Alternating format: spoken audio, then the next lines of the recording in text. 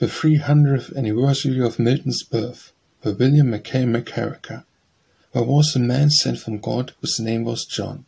Three hundred years have left their telltale rings upon the tree of time since he appeared, Milton, to be remembered in the world, whose spirit mounted on seraphic wings, who saw, for blind, extraordinary things, who wrote on obloquy and preserved, an Orpheus alike with his great music we read, a monument surpassing was of kings. Three hundred years, courageous, lofty soul, hast thou by precept and example taught thy lesson? Have we learned it as we ought? Have we moved upward, near to the goal? Yes, somewhat have we learned. Be with us still, and teach us man's high function to fulfill.